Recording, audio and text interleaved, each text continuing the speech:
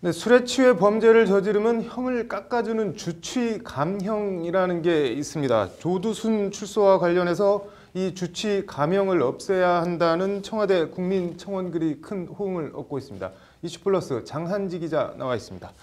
장 기자 먼저 주취 감형이 뭔지 좀 설명을 해주시죠. 네, 대한민국 형법 제10조는 네. 심신장애의 사람은 처벌을 안 하거나 형을 감형한다라는 내용이 있습니다. 네. 문제는 술에 취해서 사물을 제대로 판단할 수 없는 상태에서 범죄를 저지르는 경우에도 이 심신장애가 적용이 돼서 네. 감형 사유가 된다는 건데요. 네. 대표적인 게 조두순 사건입니다. 네. 네, 당시 법원은 조두순이 만취 상태로 범행을 저질렀다라고 해서 심신미약을 이유로 징역 12년을 선고한 바 있습니다. 네, 이 때문에 뭐 조두순 출소 반대 청원에 이어서 주취 감형 자체를 폐지해야 한다. 뭐 이런 청원글이 이어지고 있는 거죠. 네, 그렇습니다. 현재까지 무려 21만 명이 넘는 인원이 주치감형 폐지 주장에 동참했습니다. 네. 지난 11월 4일에 주치감형 폐지 청원이 올라온 지 한 달 만입니다. 네. 똑같은 범행을 저지르고도 술을 먹었다는 이유로 봐준다는 것은 상식적으로 말이 안 된다. 네. 폐지해야 한다는 게 청원 골자입니다. 네, 뭐 조두순 사건 같은 게 더 있었나요, 실제로?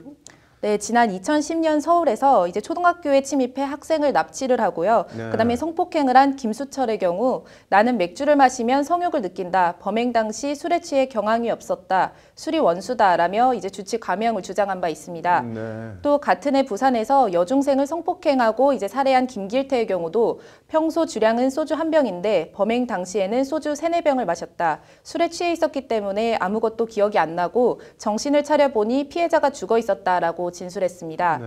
이듬해 4월 수원에서 길 가던 20대 여성을 납치해 성폭행을 시도하려다가 이제 안 되자 살해한 오원춘의 경우도요. 난 술을 즐기고 범행 날도 술을 먹고 외로움을 느끼다가라고 진술한 바 있습니다. 네, 뭐 이런 주취 범죄가 통계 같은 걸로도 나와 있는 게 있나요?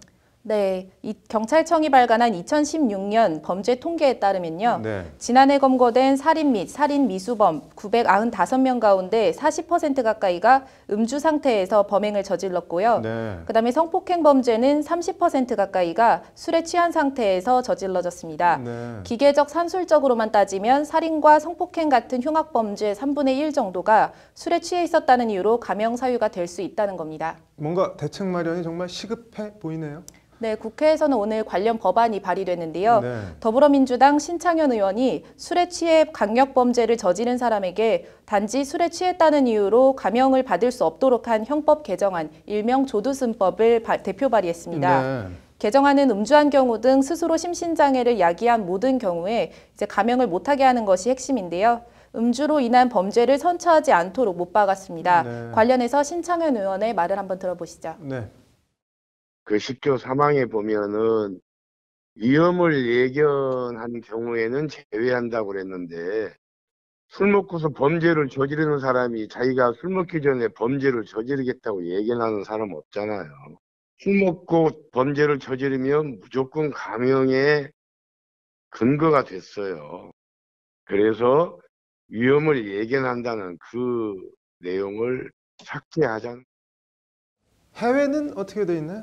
네, 주치는 범죄의 변명이 될 수 없다라는 원칙이 있을 정도로 미국과 영국 등 선진국에서는 스스로 만취해 저지른 범행은 원칙적으로 감형 사유에 해당하지 않는다라고 규정하고 있습니다. 네. 또 독일, 스위스 등 몇몇 국가는 만취, 우발 범죄를 처벌할 수 있는 명정죄라는 걸 규정하고 있는데요. 네. 독일의 경우 명정죄를 저지르면 징역 5년에 처하도록 하고 있습니다. 네.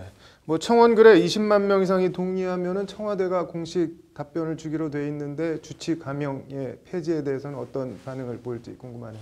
잘 들었습니다.